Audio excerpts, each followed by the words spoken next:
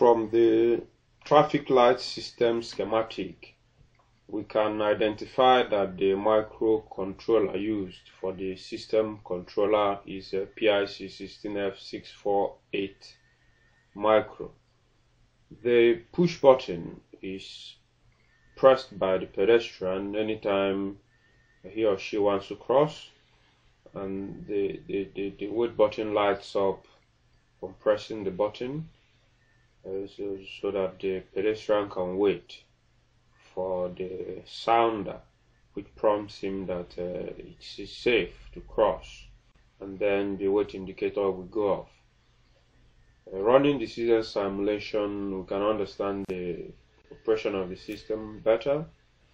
Uh, we can see the traffic light sequence in operation and then the um, green LED on, the red LED on, meaning one road is passing through, the other road is not passing through.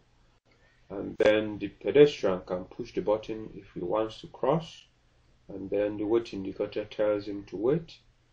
And then while waiting, the cycle of the traffic light sequence is trying to complete, and then the system will attend to the pedestrian to cross. Wait and see.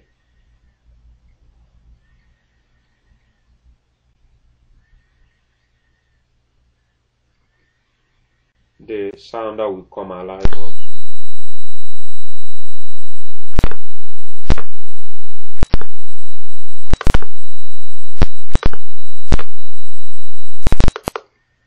And that is it. Now the traffic light sequence will continue and then cars will continue passing until another pedestrian pushes the button and then the controller can now um, control the system accordingly to allow the pedestrian to cross the road safely.